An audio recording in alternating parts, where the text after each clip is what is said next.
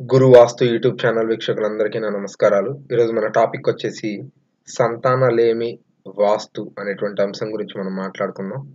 ముందుగా నా పేరు దుర్గా సాయినాథ్. మీకు గల ఏ వాస్తుపరమైనటువంటి సందేహాల కొరకైనా సరే ఈ స్క్రీన్ మీద కనిపిస్తున్నటువంటి నెంబర్కి కాల్ కానీ వాట్సాప్ కానీ చేసి మీకు గల వాస్తుపరమైనటువంటి సందేహాలకు సజెషన్స్ తీసుకోగలరు. అదేవిధంగా నూతన గృహ నిర్మాణాల ప్లాన్ల కొరకు కూడా సంప్రదించగలరు. మా వీడియోస్ మీకు నచ్చినట్లయితే లైక్ చేయండి షేర్ చేయండి సబ్స్క్రైబ్ చేసుకోండి. మీ ఫ్రెండ్స్ అండ్ ఫ్యామిలీ మెంబర్స్కి సజెస్ట్ చేయండి. తద్వారా మీతో పాటు వాళ్ళు కూడా వాస్తుకు సంబంధించిన సరైన నాలెడ్జ్ తెలుసుకోవడానికి అవకాశం ఉంటుంది.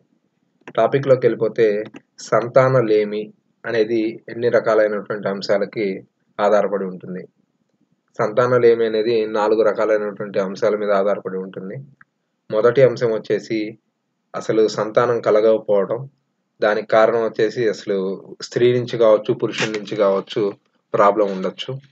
తర్వాత రెండవ ప్రాబ్లం వచ్చేసి సంతానానికి సంబంధించి ఏదైతే ప్రెగ్నెన్సీ ఉందో అది ప్రెగ్నెన్సీ అవుతుంది. కానీ ఆ ప్రెగ్నెన్సీ మిస్క్యారీ అవ్వడం ద్వారా సంతానాలు ఏమి ఉంటుంది అని చెప్పేసి ఇది రెండవ అంశం. మూడవ అంశం వచ్చేసి సంతానంకి సంబంధించి ప్రెగ్నెన్సీ ఓకే తర్వాత డెలివరీ ఓకే. డెలివరీ అయిపోయిన తర్వాత స్వల్పకాలంలోనే ఆ సంతానాన్ని కోల్పోవడం జరుగుతుంది. ఇది మూడో అంశం. నాలుగో అంశం వచ్చేసి ఈ సంతానానికి సంబంధించి పెరిగి పెద్ద అయిన తర్వాత టీనేజ్ వచ్చిన తర్వాత లేదంటే ముప్పై ఏళ్ళు ముప్పై ఐదేళ్ళు వచ్చిన తర్వాత ఎక్కువగా కూడా ఇల్లు వదిలిపెట్టి వెళ్ళిపోవడానికి కొన్ని రకాలైనటువంటి కారణాలు ఉంటాయి వాటికి సంబంధించి ఒక అంశము. ఇవి నాలుగు కూడా ప్రధానంగా సంతానలేమికి సంబంధించినటువంటి అంశాలు అనమాట ఈ నాలుగు అంశాలు ఏవైతే ఉన్నాయో వాటికి సంబంధించి వాస్తుకి ఎటువంటి రిలేషన్ ఉందనేటువంటి అంశం గురించి మనం మాట్లాడుకుందాం.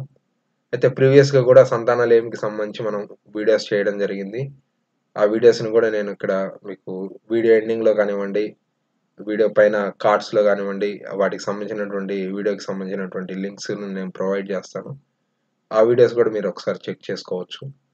ప్రీవియస్ వీడియోస్లో చెప్పిన విధంగానే నైరుతిలో దోషము ఈశాన్యంలో దోషము వంశ అభివృద్ధికి సంబంధించి ప్రధానమైనటువంటి దోషం ప్రధానమైనటువంటి కారణం. ఎప్పుడైతే ఈ సంతానలేమికి సంబంధించి స్త్రీ నుంచి కావచ్చు పురుషుడి నుంచి కావచ్చు ఇద్దరి నుంచి ఎవరి వైపు నుంచి అయినా సరే లోపాలు ఉంటుంటాయి. అయితే పురుషుడి నుంచి ప్రధానమైనటువంటి లోపాలు ఉండడం వల్ల సంతానలేమి కలిగింది అని అంటే ఖచ్చితంగా అంటే ఖచ్చితంగా ఇంటికి సంబంధించి ఈశాన్యంలో కావచ్చు నైరుతిలో కావచ్చు బలమైనటువంటి వాస్తు దోషాలు ఉండడానికి అవకాశం ఉంటుంది. నైరుతిలో సెప్టిక్ ట్యాంక్స్ కావచ్చు ఈశాన్యంలో మెట్లు కావచ్చు ఇవి రెండు కూడా పురుషుడికి సంబంధించి సంతానలేమికి సంబంధించి ఎక్కువగా కూడా ప్రాబ్లం అనేది ఉండడానికి అవకాశం ఉంటుంది. రెండవ అంశం వచ్చేసి స్త్రీకి సంబంధించి ఆగ్నేయంలో ఎప్పుడైతే ఇంటికి సంబంధించినటువంటి ప్రాబ్లం ఉంటుందో తద్వారా ప్రెగ్నెన్సీ మిస్క్యారీ అవ్వడం లేదంటే గర్భసంచికి సంబంధించినటువంటి ప్రాబ్లమ్స్ వల్ల ప్రెగ్నెన్సీ రాకపోవడం ఇటువంటి అంశాలన్నీ కూడా ఉంటుంటాయి. కాబట్టి స్త్రీకి సంబంధించి ఆగ్నేయంలో ప్రాబ్లం ఉండడం వల్ల సంతానలేమి అనేది ఉంటుంది. మూడో అంశం వచ్చేసి సంతానం కలుగుతారు. కలిగిన తర్వాత స్వల్పకాలంలో వాళ్ళని కోల్పోవడం జరుగుతుంది.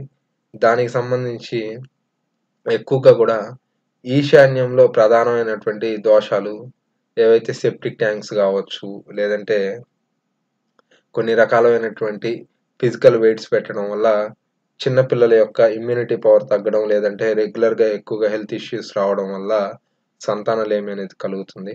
నాలుగో అంశం వచ్చేసి పెరిగి పెద్ద అయిన తర్వాత ఇల్లు వదిలిపెట్టి వెళ్ళడానికి గల కారణాల్లో తూర్పులో ప్రధానమైనటువంటి దోషాలు నైరుతో ప్రధానమైనటువంటి దోషాలు వీటి వల్ల కూడా ఇల్లు వదిలిపెట్టి వెళ్ళడానికి ఎక్కువగా కూడా పిల్లలు అవకాశం ఉంటుంది.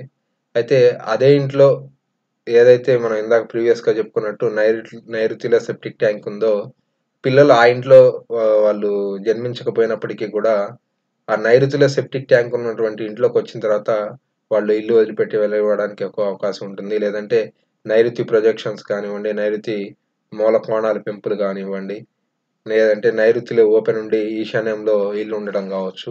చాలా రకాలైనటువంటి కారణాలు ఉంటుంటాయి వాటికి కూడా. కాబట్టి ప్రధానంగా నైరుతిలో దోషము అదేవిధంగా తూర్పులో దోషం తూర్పులో ఇల్లు ఉండొచ్చు పడమర ఖాళీ ఉండి తూర్పులో ఇల్లు ఉండొచ్చు.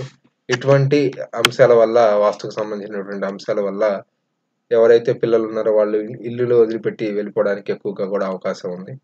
కాబట్టి ప్రధానంగా ఏదైతే నాలుగు అంశాలు ఉన్నాయో ఆ నాలుగు అంశాలకు సంబంధించి వాస్తు ప్రకారం ఎటువంటి లోపాలు ఉంటాయని చెప్పేసి మనం ఇప్పుడు చూడడం జరిగింది.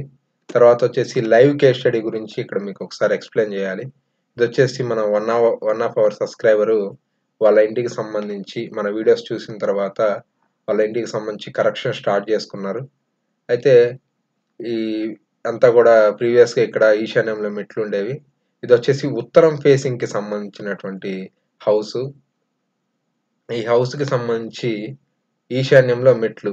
వాయువ్యంలో ద్వారం అనేది ఉండడం జరిగింది. ఈ యజమాని ఎవరైతే ఉన్నారో ఈ ఇంటికి సంబంధించి ఇరవై ఏళ్ళుగా అది వీళ్ళ ఆధీనంలోనే ఉంది. అయితే ఇరవై ఏదైతే ఆ ఇంటి యజమాని ఉన్నారో పది సంవత్సరాలు అవుతున్నా కూడా ఆయనకి సంతానం అనేది లేదు. తర్వాత వాళ్ళ తమ్ముడికి కూడా సంతానానికి సంబంధించినటువంటి సమస్య వాళ్ళకి కూడా ఆరేళ్ళు అవుతున్నా కూడా వాళ్ళ తమ్ముడికి సంబంధించి పిల్లలు అనేది లేదనమాట. కాబట్టి ప్రీవియస్గా కూడా మనం వీడియోస్లో కూడా ఎక్స్ప్లెయిన్ చేసుకోవడం జరిగింది. ఈశాన్యంలో మెట్లు ఉండి సంతానాలు వల్ల ఇబ్బంది పడి ఆ ఈశాన్యంలో ఉన్నటువంటి మెట్లు తీసేసిన తర్వాత సంతానం పొందినటువంటి ఒకే స్టడీ గురించి కూడా నేను ఎక్స్ప్లెయిన్ చేయడం జరిగింది. ఇప్పుడు వీళ్ళకు కూడా ఈ ఈశాన్యంలో ఉన్నటువంటి మెట్లు తీసేయడం వల్ల మెడికల్గా కొద్దిగా హెల్ప్ తీసుకుంటే ఖచ్చితంగా అంటే ఖచ్చితంగా దాదాపుగా సంతానం కలగడానికి అవకాశం ఉంటుంది. కాబట్టి ఈశాన్యంలో ఉన్నటువంటి ప్రధానమైనటువంటి దోషాల వల్ల సంతానలేమి అనేది కలుగుతుంది. తర్వాత ఈశాన్యంలో బెడ్ రావచ్చు లేదంటే బెడ్రూమ్ ఉండొచ్చు. తద్వారా సంతానలేమి అనేది కలుగుతుంది. అయితే అసలు ఏదైతే ప్రెగ్నెన్సీ ఉందో ఆ ప్రెగ్నెన్సీయే రాదు. ఈశాన్యంలో బెడ్రూమ్ ఉండడం వల్ల ఆ ప్రెగ్నెన్సీయే రాదు. లేదంటే ప్రెగ్నెన్సీ వచ్చినా కూడా మిస్క్యారీ అయిపోతుంటుంది. తర్వాత ఆగ్నేయానికి సంబంధించి ఆగ్నేయంలో బెడ్రూమ్ ఉండి ఆగ్నేయంలో కనుక బెడ్ ఉండి అక్కడ కనుక వాళ్ళు కనుక ఉంటే ఏదైతే ప్రెగ్నెన్సీ ఉంటుందో ఆ ప్రెగ్నెన్సీ వస్తుంది. కానీ ప్రీమెచ్యూర్డ్ బేబీస్ కావచ్చు లేదంటే అంగవైకల్యం కలిగినటువంటి పిల్లలు కావచ్చు ఈశాన్యంలో ఉన్నటువంటి బెడ్ అయినా సరే ఆగ్నేయంలో ఉన్నటువంటి బెడ్ అయినా సరే వీటి వల్ల ఎక్కువగా కూడా సంతానం ముందుగా జన్మించడం లేదంటే అంగవైకల్యం కలిగినటువంటి పిల్లలు ఏర్పడటం ఇటువంటి సందర్భాలు జరుగుతుంటాయి అయితే మేజర్గా ఆగ్నేయంలో బెడ్ ఉండడం వల్ల ప్రీమెచ్యూర్డ్ బేబీస్ అనేది ఎక్కువగా కూడా కలగడానికి ఎక్కువ అవకాశం ఉంది. ఆగ్నేయంలో మనకి ఈశాన్యంలో బెడ్ ఉంటే మాత్రం అంగవైకల్యం అంటే పిండం పూర్తిగా పరిపక్వత చెందకుండానే ఏదైతే అవయవాలు ఏర్పడకుండానే కనడం అనేది జరుగుతుంది ప్రసవించడం అనేది జరుగుతుంది. తద్వారా ఈ దోషాలన్నీ కూడా ఏర్పడుతూ ఉంటుంటాయి. కాబట్టి ప్రధానంగా ఈ అంశాల గురు ఈ అంశాల వల్ల మనకి సంతానలేమి అనేది కలుగుతుంది. ప్రజెంట్ ఉన్నటువంటి సిచ్యువేషన్స్లో కంప్రెసర్లు ఏసీ కంప్రెసర్లు ఈశాన్యంలో పెడుతూ ఉన్నారు. ఈశాన్యం బాల్కనీలో పెడుతూ ఉన్నారు. అన్ని కంప్రెసర్లు తీసుకొచ్చి ఈశాన్యం బాల్కనీలో పెట్టడం వల్ల కూడా సంతాన లేమికి సంబంధించినటువంటి ప్రాబ్లమ్స్ ఎక్కువగా కూడా కలగడానికి అవకాశం ఉంటుంది. ఎందుకంటే మనకి ఈశాన్యం వాటర్ ఎలిమెంట్కి సంబంధించినటువంటి ప్లేస్ ఎప్పుడైతే కంప్రెసర్లు అక్కడ పెడతాం కంప్రెసర్లు twenty four hours AC run చేసినంతసేపు హీట్ని ప్రొడ్యూస్ చేస్తూ ఉంటాయి. తద్వారా ఈశాన్యంలో దోషం ఏర్పడి దానికి సంబంధించి సంతాన లేని లేమికి సంబంధించి ప్రాబ్లం అనేది ఉండడానికి ఎక్కువ అవకాశం ఉంటుంది. ఓవరాల్గా సంతాన లేమికి సంబంధించి మీకు టాపిక్ అర్థమైంది అనుకుంటున్నాను.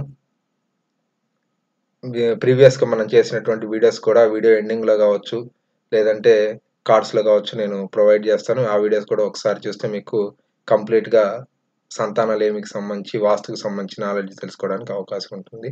ఈ వీడియోని అందరికీ షేర్ చేయండి. మీ ఫ్రెండ్స్ అండ్ ఫ్యామిలీ మెంబర్స్కి తద్వారా వాళ్ళు కూడా వాస్తుకు సంబంధించినటువంటి సరైన నాలెడ్జ్ తెలుసుకోవడానికి అవకాశం ఉంటుంది. Thank you thank you for watching